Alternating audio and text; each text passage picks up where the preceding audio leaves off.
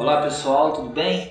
Mais uma vez estou aqui para falar um pouquinho sobre a matéria médica homeopática. Eu sou Rafael Costa, professor de homeopatia, de terapias integrativas, terapeuta holístico. E hoje nós vamos falar um pouquinho sobre o argento nítrico ou nitrato de prata, um composto químico solúvel em água que já foi utilizado em medicina é, na antiguidade para cauterizar verrugas, para curar infecções oculares dos recém-nascidos e até mesmo para curar epilepsia. O argento nítrico, também conhecido aí na antiguidade como a pedra do diabo, por ser um agente muito venenoso e muito tóxico, ele queima no contato direto. Então ele recebeu esse apelido de pedra do diabo ou pedra do inferno, né? a pedra que queima. É, na homeopatia vai ser aí um grande remédio das pessoas que vivem em ritmo acelerado, que vivem com a mente acelerada. É um remédio que vai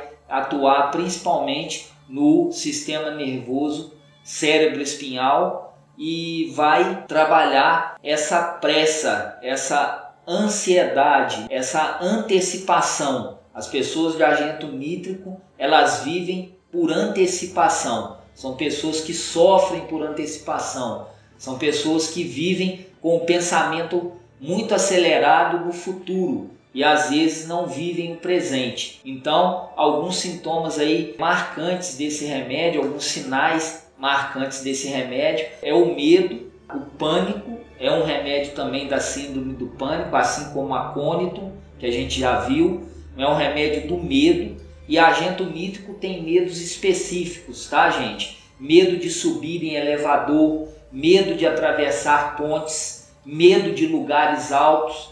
Esses aí são sinais chaves para indicação desse remédio. A pessoa de agente nítrico geralmente ela não consegue subir em elevadores, ela não consegue andar em escadas rolantes, ela não consegue atravessar túneis porque tem esse, esse medo, geralmente um medo que, que aparentemente sem fundamento. Então o agente nítrico também é um grande remédio que vai atuar na esfera emocional e mental, no caso aí da homeopatia. Então ele vai atuar muito no mental, é, para personalidades com muita ansiedade, né, que sofrem por antecipação, igual eu já, já falei, e alguns outros sintomas físicos desse remédio. A prisão de ventre, geralmente o intestino dessa personalidade não funciona muito bem e pode ser usado também para alguns outros tipos de tratamento, né? Mas a esfera, a esfera maior de ação desse remédio é no mental e no emocional, como eu falei para vocês